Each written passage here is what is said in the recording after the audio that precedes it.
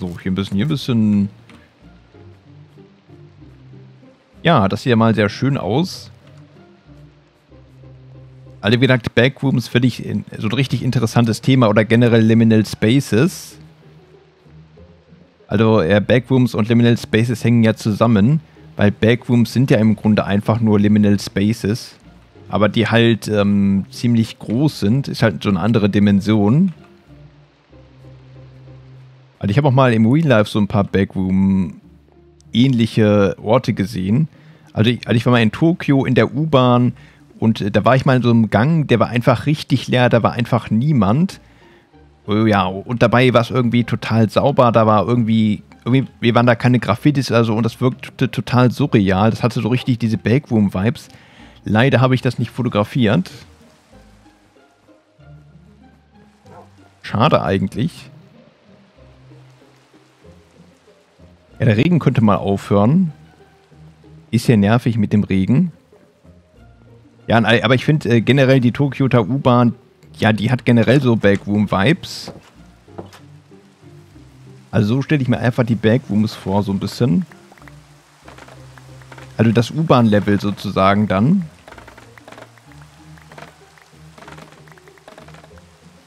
So, dann hier auch so ein bisschen Bambus, Bambus. Und dann hier so ein bisschen Bambus. Können wir mal so ein bisschen Bambus hier abernten. Ich könnte hier nochmal so ein bisschen Bambus anpflanzen. So, das mache ich mal eben hier. So, Bambus, Bambus, Bambus. Hier noch ein bisschen Bambus. So, und hier kann man nochmal durchrasieren, ein bisschen.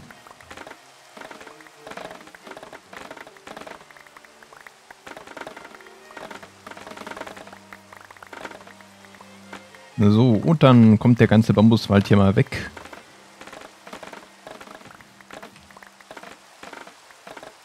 So wird hier alles flach gemacht. So, ich hoffe, das dauert jetzt nicht zu lange. Ich bräuchte ähm, wirklich mal so eine Bambusfarm. Aber da müsste ich mir angucken, wie das jetzt funktioniert.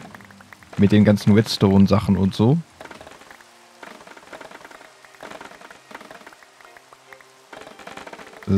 Wird auch langsam dunkel. Dann können wir schlafen und dann ist der Regen auch vorbei. Was schmeiße ich jetzt weg? Ich möchte eigentlich gar nichts wegschmeißen. Ich müsste mal was ablegen.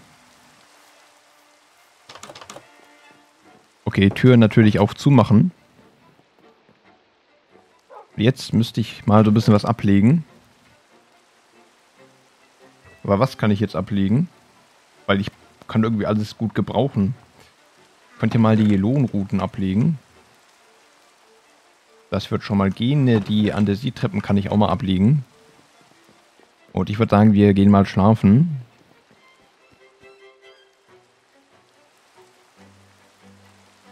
So, und dann schlafen wir mal so ein bisschen.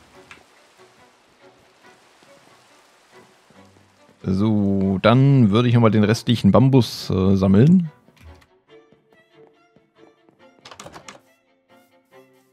So, ist ja eine ganz schöne Menge. Das wird natürlich auch mitgenommen. Ah Mist, da haben wir einen Bogenschützen. Auf den habe ich jetzt wirklich keine Lust, vor allem, weil ich habe den Bogen gerade nicht in der Hotbar. Gut, kann ich jetzt irgendwas wegschmeißen? Ja, ich möchte jetzt auch nichts wegschmeißen. Ich möchte eigentlich gar nichts wegschmeißen. Kann mir ja mal so eine Werkbank machen. So, Werkbank haben wir jetzt am Start.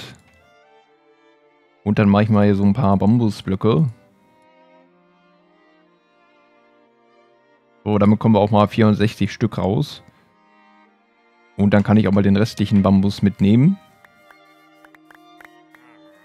Soll ja auch hier nichts verschwendet sein.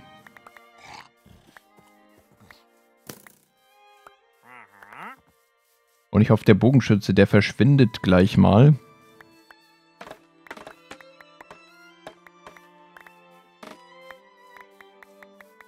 So, und das hier sammeln wir auch mal eben ein. Und äh, ja, dann kann ich mir nochmal so ein paar Bambusblöcke machen. So, hier ein paar und da nochmal hier so ein paar. Dann haben wir gleich noch ein bisschen mehr Tapete. Das ist ja auch schon mal sehr gut.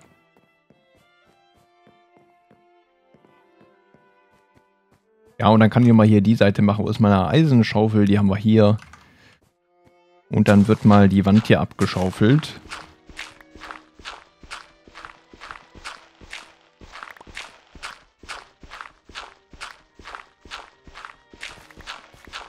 Also hier ein bisschen, hier ein bisschen, hier ein bisschen. Ja, und dann können wir uns ja mal überlegen, wie es dann hier weitergeht.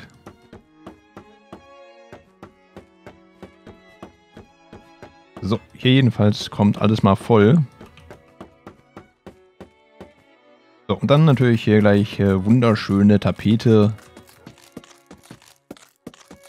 So kann man das ja anbieten.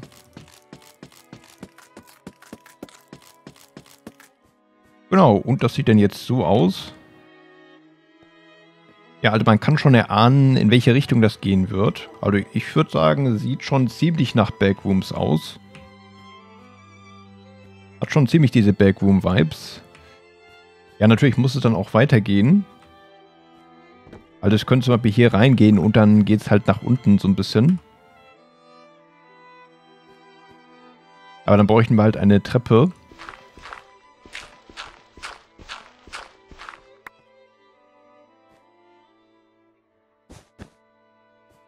Auf jeden Fall wird es dann hier nach unten gehen.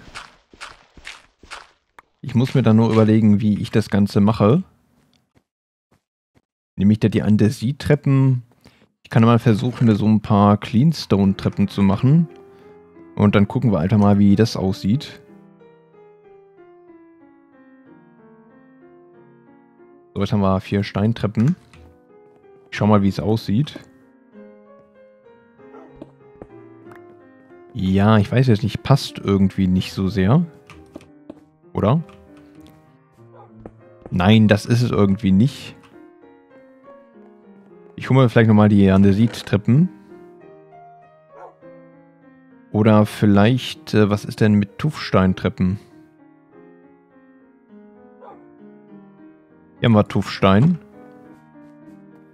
Mal schauen, was man damit so machen kann. So, Tuffsteintreppen. Polierte Tuffsteintreppen. Ich schau mal, wie die aussehen. Das passt vielleicht ein bisschen mehr rein. Ja, kann man machen, obwohl ich jetzt keinen großen Unterschied. Sieht das jetzt ein bisschen noch mehr nach Backrooms aus? Ich weiß nicht. Aber ich mache mal, mal so ein paar von denen. So, hier Tuffstein. Und dann polierte äh, Tuffsteintreppe. So, jetzt haben wir zwölf Stück. Wir können ja noch mehr sammeln. In der Mine sollte ja genug Tuffstein sein. Ja, und dann wird es halt hier so nach unten gehen. Und dann kann ich mal so ein bisschen schaufeln. Genau, das machen wir einfach so hier. So, zack und zack und zack und zack. Und das hier kommt dann mal eben weg. So, die Eisenschaufel hält auch nicht mehr so lange. Da müssen wir uns eine neue machen.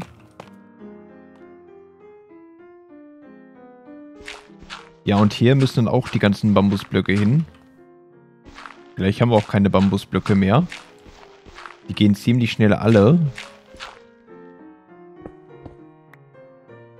So, oh, das hier kommt auch weg. Und dann kommt hier mal der Bambus rein. Ah, wir haben ja noch mehr. Hätte ich ja nicht gedacht, habe ich ja ganz vergessen. So, zack, zack, zack und zack. So, und dann gleich hier ein bisschen wunderschöne Tapete.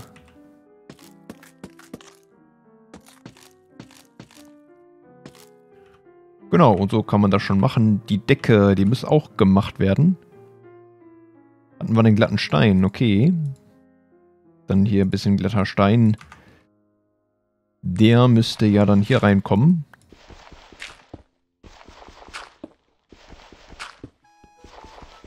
So, und dann kleiden wir das mal hier mit dem glatten Stein aus. Man konnte ja auch so Steintreppen machen. Obwohl ich weiß nicht.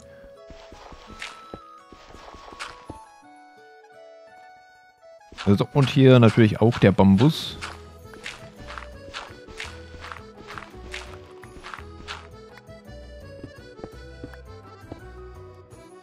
Ja, wird auch so ein bisschen repetitiv langsam hier. Aber das sind ja auch die Bergwumms, die sind ja auch ziemlich repetitiv. So, Bambus, Bambus, Bambus, Bambus. Und dann kommt hier mal so ein bisschen schön Tapete hin.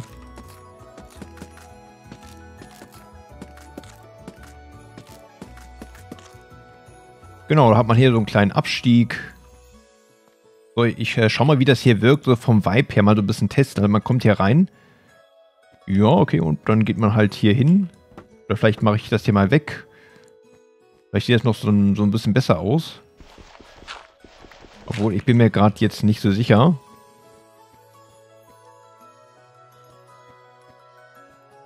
Ja, ich gucke nochmal. Ich weiß jetzt nicht, ob das so cool aussieht.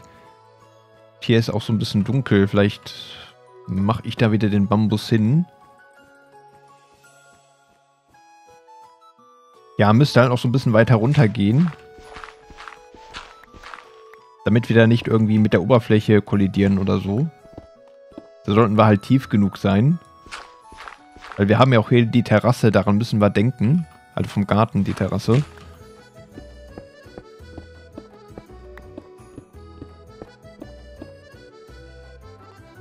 Ja, ich glaube, so auf der Höhe könnten wir dann eigentlich ähm, bleiben. Dann hätten wir da die neue Ebene. Ja, so viel Bambus haben wir auch nicht mehr. Da musste ich gleich noch mal so ein bisschen Bambus holen. So, das hier kommt weg. Und das hier kommt nochmal eben weg. Ja, halt so ein standardmäßiges Treppenhaus.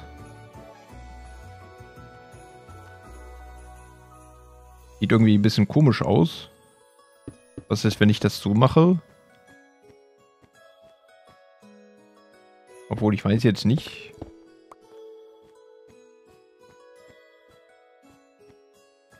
Oder vielleicht mache ich das wieder so.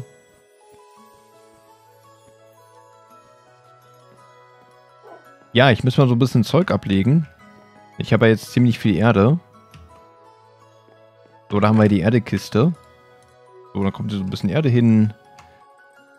Bruchstein könnte ich auch mal ablegen. Man könnte ja auch vielleicht noch so ein paar Zwischenwände reinmachen.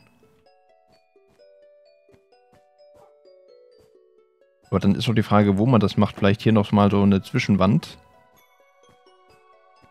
Müsste ich halt hier die Lampe dicht machen. Das wollte ich jetzt nicht.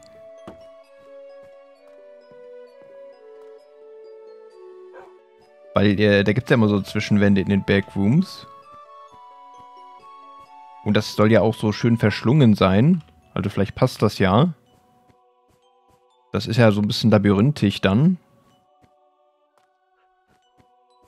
Ja, auf jeden Fall, wir brauchen noch eine ganze Menge Bambus. Weizen müsste ich mal ablegen, den brauche ich jetzt gerade nicht.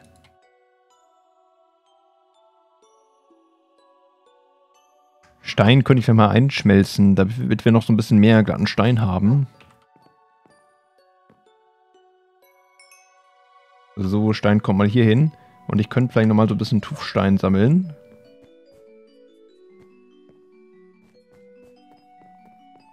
Obwohl, vielleicht sollte ich eher Bambus ernten. Ja, gucken wir mal. Oder ich gehe jetzt mal schlafen.